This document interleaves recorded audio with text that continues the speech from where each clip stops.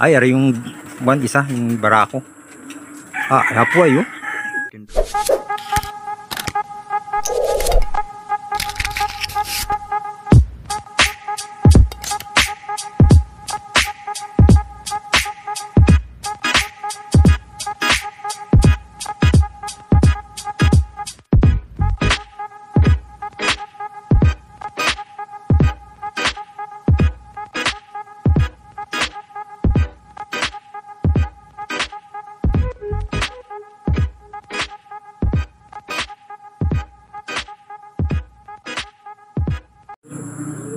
Okay, good morning mga karista. Welcome back sa Color TV. So, meron na naman tayong karera, kaya nga lang, pooling pa lang. Sinali natin yung isa lang natin blue bar sa ating ah, mother club. Anim na training at isang pooling. So, maunang may release yung pooling. Kaso, time check muna tayo, alas 7.08 na. Hindi pa na-release dahil ano nga, maulan dito at saka laging may pag. Kahit tanghali may pag din. Siguro dyan sa inyo, kung napapanood nyo ako kung saan man dyan, sa parting norte or sa south, na experience din niyo kahit tanghali na mapag. Hindi ko alam kung dahil sa bulkan ba yun o ah, gawa ng panahon. So kaya ngayon, nag-aantabay pa yung aming tuser dahil yun na nga, malabo ang paligid. Kaya alas 7 na, pasado, hindi pa na-release. Ah, shoutout nga pala sa lahat ng bumubuo ng Team PRPcom kay simula sa president namin, kay Boss Jeff Del Mundo. Ah, sa aming vice kay Punis at sa mga kay racing chairman Tutoy Bibo at sa mga kasama pa niyan, ng mga officer. Sa lahat na nag-iintindi, shoutout sa inyo lahat. Marami kayo. Kaya hindi ko na maisa-isa. Check natin ang paligid. Ayan. Tingnan natin ha. Yan, ang silangan. Halos hindi na makita yung araw. Tapos, yung bundok, talagang hindi namin makita. Yung bubong ko. Basa-basa pa. Okay, mga karista. So, na-release na yung ating pooling ng 710. Tapos, ang ating training i-release ng 720. So ngayon na sa oras na to 7:20 na. 7:31 na. So record na tayo. 21 minutes nang naglumilipad dating ibon.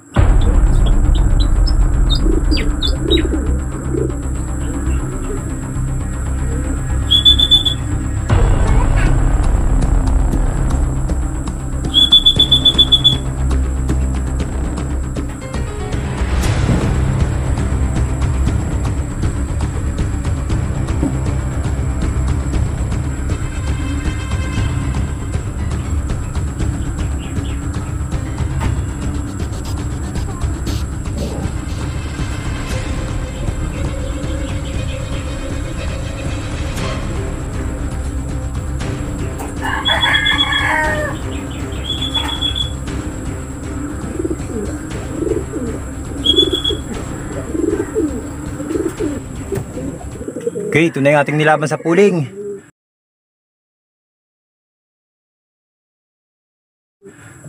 Kaso nagatakala ako. Kasabay niya itong training na kapatid ni 100 days dati natin. Yan. Yan yung nilaban natin ng South sa 100 days challenge. Ito ang kanyang nismate. So kasabay niya itong pinuling natin samantalang ito ni-release 710. Ito naman ay 720. Matulin to. So yan, mag-nismate yan. Yun yung ating unang nilaban si Grisel Jr.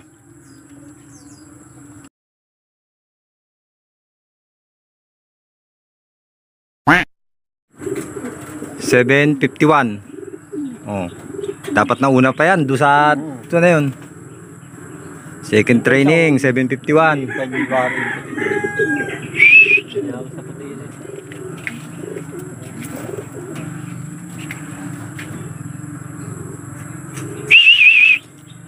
Dito naglabasan na yun. Ito may pab... Nag-ikot na. Sana. Doon, pumunta doon. Ayun na oh. Ay, ari yung one isa, yung barako. Ah, hapo ayo. At hindi pa marunong tumayo sa ano eh. Sa kulungan, 732. Ay, parang pilay ari. Ba't parang napila yan? Ay, napilay. Parang Pilayan pa, ah, naipit. naipit yan dun. Ari pa naman yung maganda ko.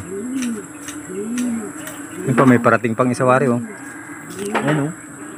Ah, may maday pa. Ayan pa. Hanggang sa limbayan na. Bahay na yan. Parang pilay itong ating ano, isang training ah. Sikan siguro sa dami. Hindi, magandang itong ano doon tayo. Parang ano, pagka Okay. yung... Pa, baka Pilay. yun Ha? Umapon at nakwan. Pilay, yung ating isang young bird. Parang bukol yung palo. Ha? Mamaya check upin natin. Maring Ay! ito, ha? Tanga na drad na palapati kwari yan. Bakit? Ayun, laki ng gambol. Oh, gambol na gambol oh. Ayun oh. May parang may tama din sa loob upin natin mamaya. Oh, Oh, para na ano yan.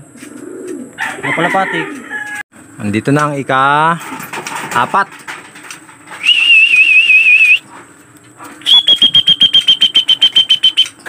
Ayan.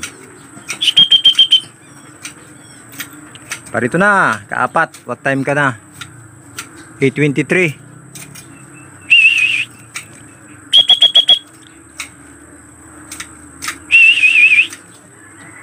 So bali itong isa na to ay yan, yung isa na yan ay nesmate ng blue bar na pilay, yung dumating na pilay. Yan, yan ang nesmate niya. Okay. O 835 yung ating ikalimang training.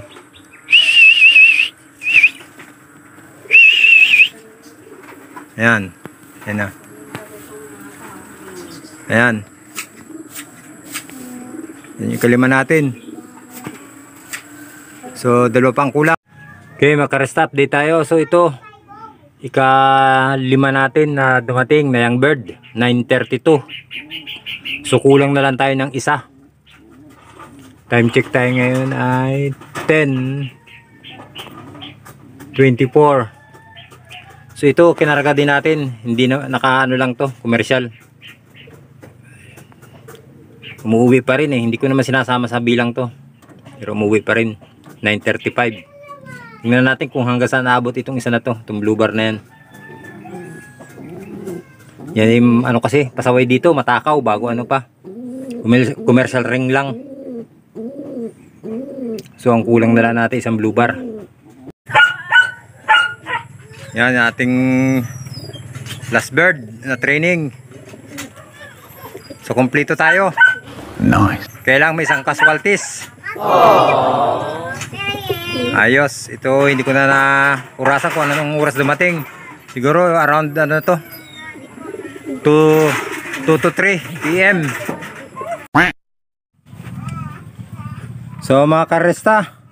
So ito na si Blue Bar yung umuwi sa ating ika-ika, yung pilay. So okay, ganda pa naman ang pakpak niya oh. Kompleto na dahil ito yung na ano na natin. Na force malt. So ayan siya. So bali ito yung bird natin. Ito yung kanyang ring number.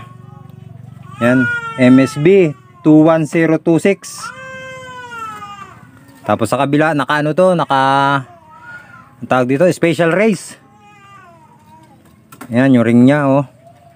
Yung PSI 21008. So ito pagkatapos sana ng derby na to, kung makakatapos may special race siya. So maganda kasi siya kak.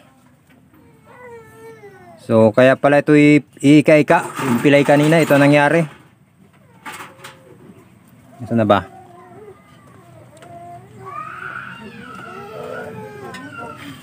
Ayan. Ayan oh. So bali siya ay bumangga o sumalpok o naserga. Nabali yung kanyang pityo, nadurog. So ito yung pityo niya. Tapos lumubog na din sa parte dito. Nang mukhang durog eh. Tapos ering karugtong na lang oh, kita kung napapansin nyo ito konti na lang. Tapos yung kabilang dulo andun, ito durog na durog. Lumubog siya oh. So kaya sobrang pula yan oh. Kaya pala ito'y sama ng tama. Siguro pagbukas ay napabanggas agad sa ano. Mabuti naka, nakauwi pa kaya lang balda na siya. So palagay ko ito'y out na sa ating team.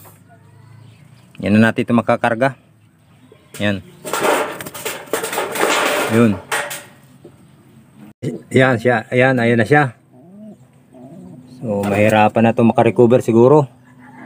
Tapos may papakita pa, pa ako sa inyo isa. Ito si Grisel Junior natin, yung tumapos ng 5 laps. Hindi pala saya junior, kundi juniora. Ayan, pumares na siya dyan. O, ayan o.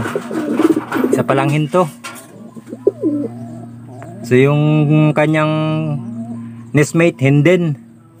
Naka-north naman yun. Ayan, ayan silang dalawa.